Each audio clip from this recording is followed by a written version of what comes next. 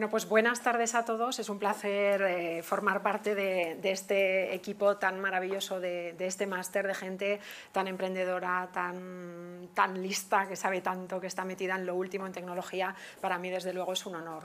Eh, retomando lo que decía el compañero Agustín, eh, uno de los límites que nos fijamos nosotros es a la hora de comunicar. Y eso nos pone muchas trabas. ¿Por qué los alemanes se están llevando a todos los ingenieros españoles? Porque saben mucho de ingeniería pero es que entre dos ingenieros, uno alemán y uno español, ¿cuál se vende mejor? El alemán. ¿Qué pasa? Que igual el español sabe más, igual el español ha investigado la bomba, no sé si oísteis eh, hace unos días eh, bueno, una chica que se había ido a Estados Unidos porque en Valencia se le había acabado la beca y había encontrado bueno, la, la repanocha de la investigación. ¿Qué pasa? ¿Que era mala en España y es buena en Estados Unidos? No. ¿Qué pasa? Que ahí se les está comprando más porque hay gente que les escucha y ellos están sabiendo vender mejor. Uno de los límites grandes, grandes, grandes que nos ponemos es la comunicación. Y esa es mi parte, mi pata, mi pasión, eh, que complementa pues, al resto de mis compañeros del máster. Intentaré contagiaros parte de esa comunicación, de esa pasión por la comunicación y, por supuesto, entraremos en bueno, cómo escribir un buen tweet o cómo escribir en un blog pero también entraremos un poquito en la comunicación interpersonal, porque es lo que os decía David, tú pones una foto muy fea, llegas ahí, dicen qué guapa, qué buena presencia, pero abres la boca y pareces una, una Miss, ¿no? de estas que se presentaban hace años. Es un problema, hay que saber venderse y hay que hacerlo en poco tiempo porque la forma de comunicar también ha cambiado. Antes eh, los discursos duraban mucho más, lo que presentaba la gente no lo presentaba como ahora eh, y ha cambiado y en parte todo viene importado del tema del marketing que nos decía Agustín. Los mensajes cada vez son más claros, más cortos, más directos. La gente está acostumbrada a ver eh, los mensajes que le llegan a través de la televisión, a través de Internet, y o cambiamos el chip o nos quedamos fuera. Nos quedamos dentro de los que se quedan sin trabajar porque no saben venderse. El otro día estaba yo entrenando a unos emprendedores que tenían que presentarse en un foro, en el foro Pilot, y al final un jurado decidía cuál era el mejor. Entonces uno de los alumnos me decía, pero no es justo, no es justo que a otro que tenga una idea peor que la mía lo vayan a seleccionar porque lo cuente mejor. ¿Creéis que es justo o que no es justo? Sí que es justo. ¿Por qué? Porque sí, porque es fundamental. Es fundamental. ¿Y qué pasa con los políticos? Lo mismo, uno puede ser mejor, otro puede ser peor, pero si el que es peor se vende mejor y nos hace ver a los demás lo que el otro no nos hace ver, la comunicación es una herramienta fundamental que os va a ayudar muchísimo, pero no solo en la vida laboral, también en la vida personal y eso lo veremos eh, a lo largo del máster. Daremos una fórmula, la fórmula de asertividad, que es mágica para que no tengas conflictos o tengas los mínimos conflictos en tu vida. Te va a permitir ser mucho más eficaz a la hora de trabajar en equipos, te va a permitir ser más feliz en casa con tus amigos, con tus compañeros. Te va a permitir comunicar mejor y eso te va a abrir muchas puertas. Manuel Campo Vidal, lo conocéis todos, sociólogo, periodista, tiene un libro que dice que por qué los profesionales españoles nos comunicamos tan mal. Y él una de las cosas que cuenta es que en la vida, en el cole, en la sociedad, en casa, nos enseñan a hablar, a escribir, a escuchar, ya que más cosas nos pueden ayudar eh, a la hora de comunicar. Hablar, escribir, ¿qué más? Leer, escuchar, ¿vale? ¿Qué pasa? ¿Qué diferencias hay? A los británicos y americanos y alemanes les enseñan a todo esto. A los argentinos no les enseñan a escuchar. Pero es que a los españoles ni nos enseñan a escuchar ni nos enseñan a hablar. Y ahí está la diferencia cuando tú sales a pedir trabajo o a venderte como arquitecto, como albañil o como lo que seas, o como experto en marketing online. Puedes saber mucho, pero si no lo sabes contar es como si no lo supieras. Y eso os lo digo yo por experiencia propia. Pero a veces que nos pasa también, vale, vamos a saber cómo lo vamos a contar, pero es que no sabemos qué queremos contar. Yo esto después de muchos años enseñando, he llegado a esa conclusión. Para enseñar a hablar en público y para enseñar a comunicar, primero tengo que enseñarle a la gente a que sepa qué quiere contar porque nos sentamos ante el papel o nos ponemos delante de una persona, empezamos a hablar sin, como diría Arguiñano, sin ningún fundamento. Y nos vamos por aquí, por allá, por los cerros de Úbeda, salvo el señor que controla el tuit, que sabe ir al grano y sus 140 caracteres, etc. Y esto, si no lo hacemos ahora, no vamos a llegar a ningún sitio. Entonces, bueno, mi presentación, mi propuesta de presentación, que yo me voy a ceñir eh, a, los minutos, porque eso es uno de los consejos que hay que seguir. Eh, que lo que pasa es que esta tarde está siendo todo al revés, porque uno de los consejos es que tienes que ponerte una americana para que te puedan poner el micrófono y no tengas problemas como yo con la chaqueta que se te desliza, no sabía que iba a llevar micrófono, y otro es que te fijes y que te ciñes al, tiempo que te han, te han dado para comunicar, porque si no acaba siendo un rollo. Entonces, bueno, yo me lo propongo, eh, son las 8. Entonces, bueno, yo lo que os digo es que tenéis 60 segundos, 60 segundos escritos son 17 líneas, bueno, unos lees más rápido, otros más despacio, pero vamos, más o menos 17 líneas. Y si tenéis 60 segundos para convencer, ¿qué contaréis ahí? ¿Os iréis por los cerros o contaréis lo fundamental? ¿Eh? ¿Qué haréis? ¿Y cómo sabes que es lo fundamental? ¿Tú quién eres? ¿Puedes salir, por favor? Yo. Sí. Porque aquí los protagonistas sois vosotros. Cuéntanos quién eres, por favor. Cuéntanos cuánto vales no te voy a decir en 60 segundos, en 15 segundos. Ven aquí conmigo, que salgas bien guapetona. Bueno, yo soy Pilar López, tengo 22 años y estudié periodismo y acabé el año pasado. Y hice un curso de Community Manager y ahora estoy pues, buscando más cosas que hacer bueno, para especializarme. ¿Qué tal se ha vendido? ¿La contratáis? ¿Creéis que podía haber mejorado? Bueno, ahora lo vamos a ver. ¿eh? Al final volverás a salir y nos vuelves a, decir cómo te vendes, siguiendo los pasos que vamos a ir dando. ¿Vale? Muchas gracias y perdona por la encerrona. Es una encerrona en toda regla. ¿Hay algo que no has hecho? No te has movido. Y a la hora de comunicar eso es fundamental. Pero aunque no estés delante, se sonríe por teléfono, se sonríe a través del, del tweet que escribes, se sonríe a través del vídeo que te conectas y que estás por Skype. Se sonríe y, y, eso comunica. Tú has sonreído, pero no te has movido y la comunicación verbal, ahora lo veremos, es muy importante a la hora de comunicar.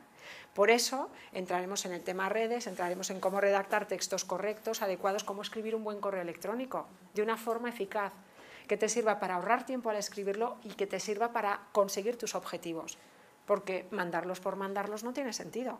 Como decía Agustín, ¿para qué ponemos publicidad? Con un objetivo, porque se puede. ¿Por qué tenemos que comunicar bien? Porque se puede y se debe. Es simplemente respeto hacia los que tenemos ahí. Vosotros no sabéis lo que impone aquí a una estar aquí eh, teniendo a gente como vosotros que está invirtiendo su tiempo en escucharme. Me tengo que preparar bien lo que quiero decir, tengo que tener claras mis ideas y ser capaz de, trans, de, comentároslas a vosotros. Entonces, ¿cuánto valéis? ¿Sabéis cuánto valéis? ¿Todos? Pensadlo. ¿Cuánto valéis? ¿Tú cuánto crees que vales? ¿No lo sabes? ¿Y tú? Ya que conocías a los ratones, tienes que saber cuánto vales.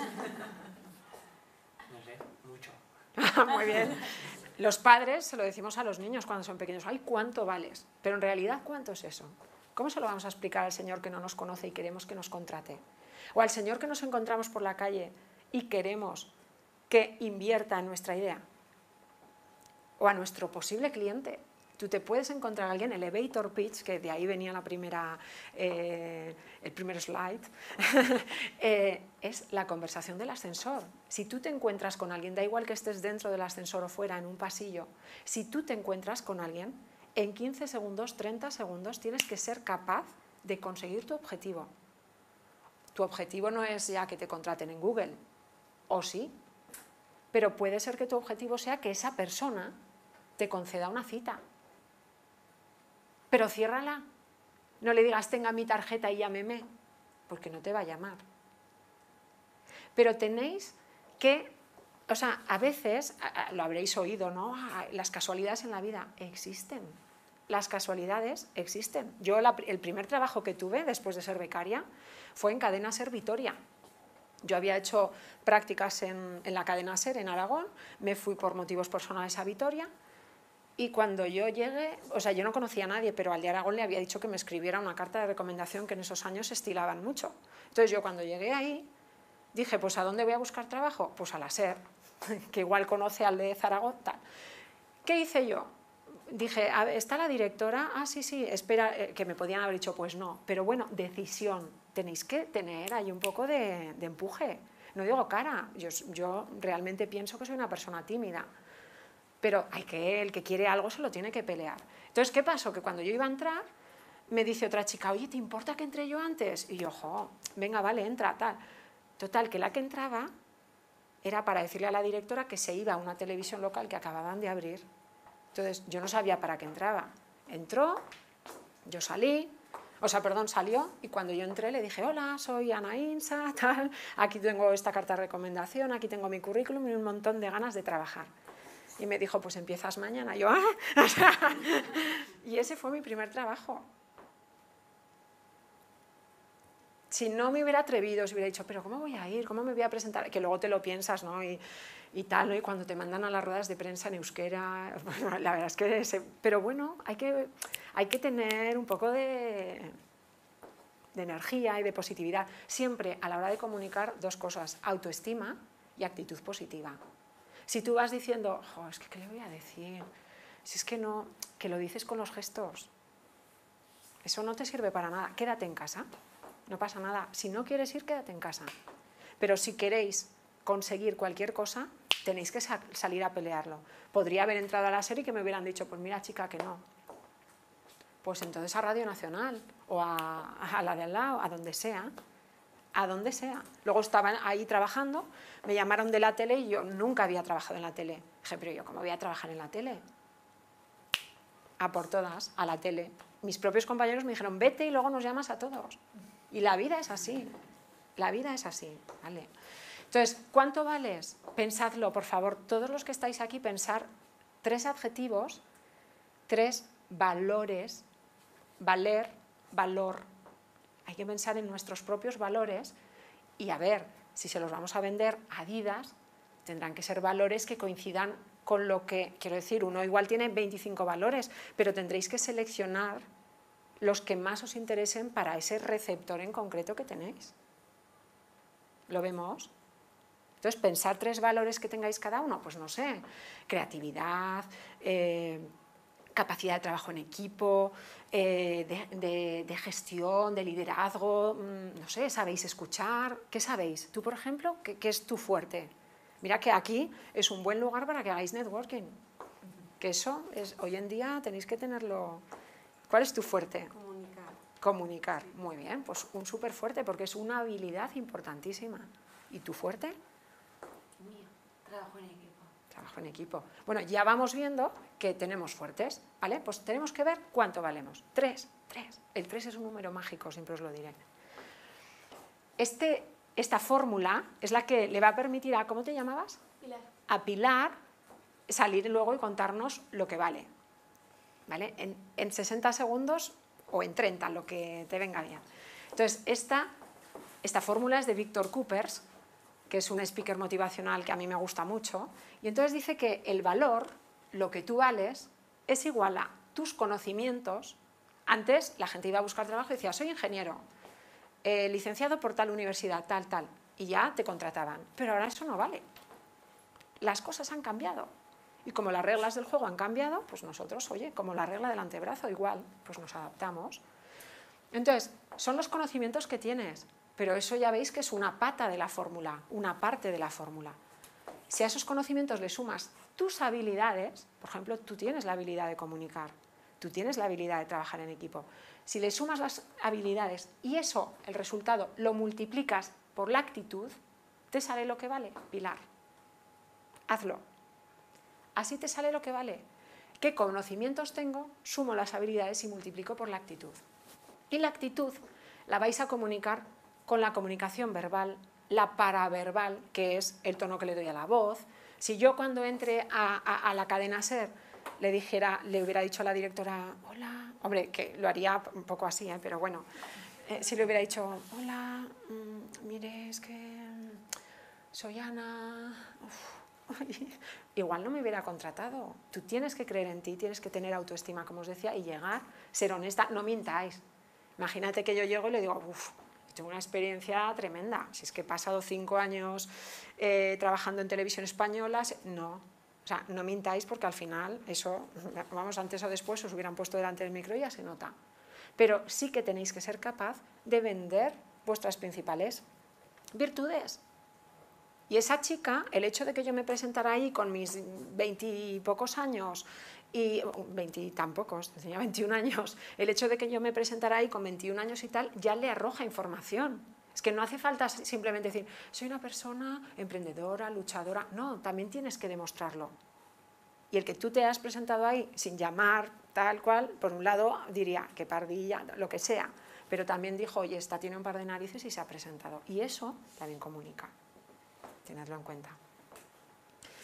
Entonces, para aprender a comunicar lo que vale, Pilar, vamos a aplicar la fórmula y entonces ahí simplemente no nos tenemos que enrollar. Si te encuentras a una persona 15 segundos, 30 segundos, no te tienes que enrollar. Simplemente le tienes que contar quién eres y, y de qué eres capaz.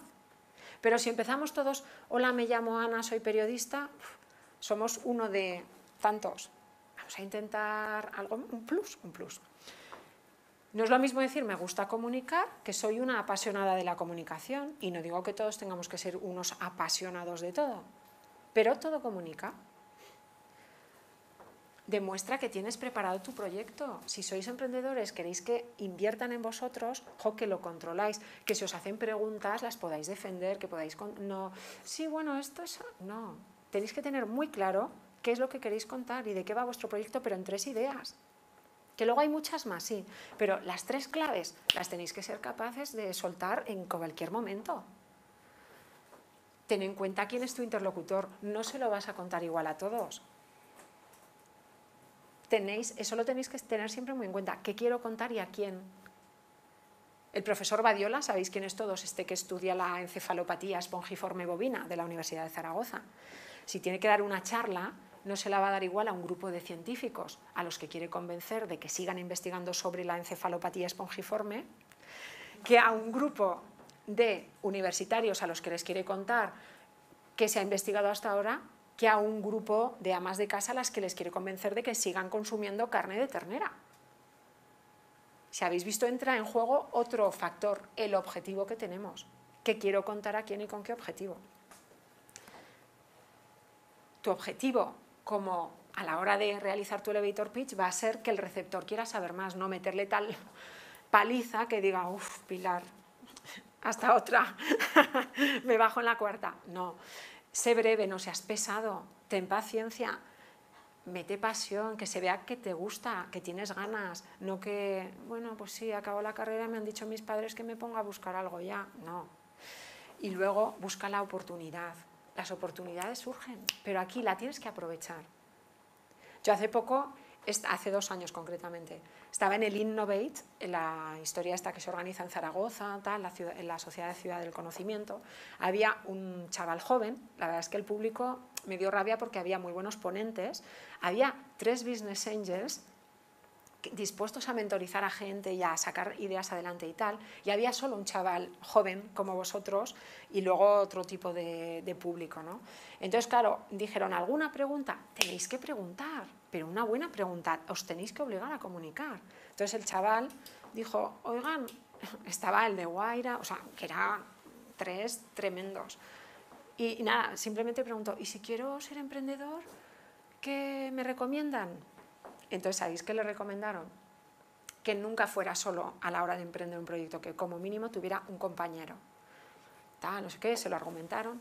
Y al acabar la charla, yo me miraba y digo, se levantará porque le dijeron, cuando tengas un proyecto, llámanos.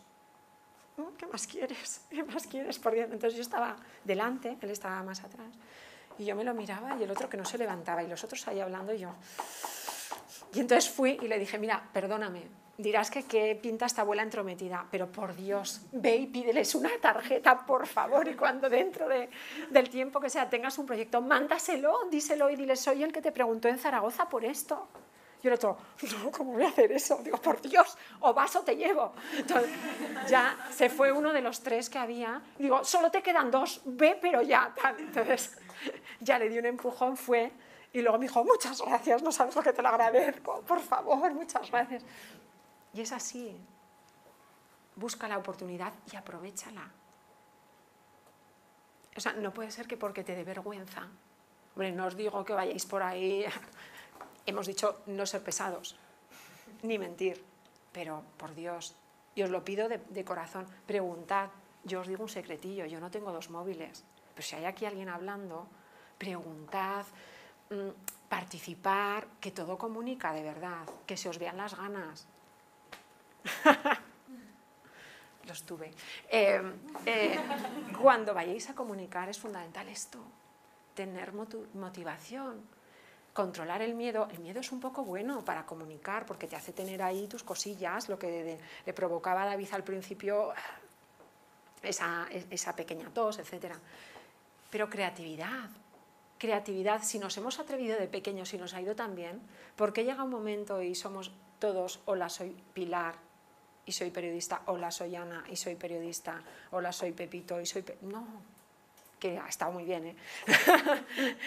Pero, por Dios, algo de, de creatividad. No es lo mismo irte al zoo en un autobús normal de Tutsa que irte en este.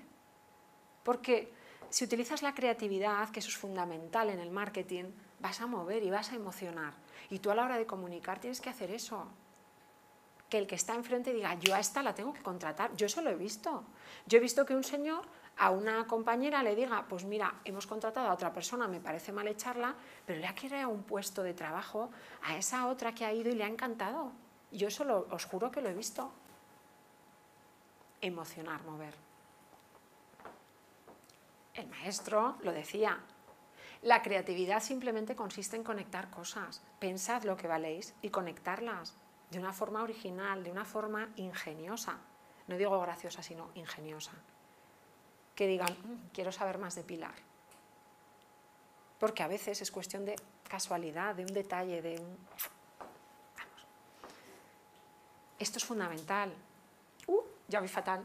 Eh, los siete primeros segundos están comunicando. Cuando tú sales aquí, el hecho de que entres de una manera o de, o de otra, o cuando vas a una reunión o cuando sea, el hecho de que te vean de una forma u otra ya transmite una serie de mensajes. En la Escuela de Negocios de la Universidad de Nueva York dicen que en siete segundos se enjuician hasta 11 elementos. ¿Y qué nos da tiempo a hacer en siete segundos? Saludar. Fundamental, desde el principio con ganas desde el principio.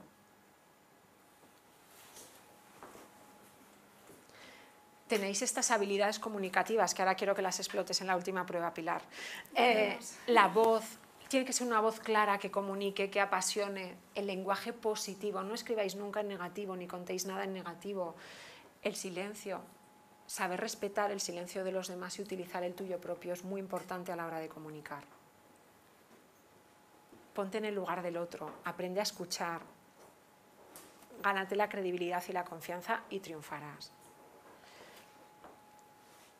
Esto, ya estamos a punto de terminar, a la hora de comunicar, el mensaje que construimos es un 7%, lo que decimos es un 7%. El 38% es el cómo lo decimos con la voz, si le metemos la pasión o no, cómo entonamos, qué volumen utilizamos, qué intensidad, qué ritmo, qué inflexiones de voz. Y el 55% es el lenguaje corporal. Si Pilar te quedas así, hay un 55% que no llega. Daremos unos truquillos para que aprendáis a moveros con naturalidad. ¿eh? Bueno, esto es una gracieta de la comunicación no verbal que es así, o sea, nos, mm, quiero decir, entre chicos igual es más fácil, ¿no? Pero las chicas ya veis que estamos a todo, entonces hay que tenerlo todo muy previsto, porque, como os he dicho ya varias veces, todo comunica, desde la forma de vestir o de peinarse hasta la forma de hablar o de moverse. Sebastián Serrano dice que el arte de conversar empieza con lecciones de comportamiento no verbal. En esos siete primeros segundos no nos ha dado tiempo a abrir la boca. Entonces ya terminamos diciendo que estos son otros elementos, otras habilidades, ¿os acordáis de la fórmula del principio? Son otras de vuestras habilidades que suman a la fórmula, que es la postura y gestos que adoptéis, la forma de mover las manos, la mirada fundamental. Por Dios, ahora Pilar, cuando salgas tienes que sonreír y tienes que mirar. ¿vale? el espacio que nos rodea hay que, hay que controlarlo. Hay una serie de elementos que tenéis a vuestro favor. ¿Veis? Todo comunica. A veces comunicamos más de lo que pensamos. Esto estuvo a punto de crear un conflicto de Estado. Comunicamos más de lo que pensamos. Y estamos diciendo con la cara que no nos gusta algo y con las palabras, sí, no me importa. Hombre, es que se te está viendo en la cara.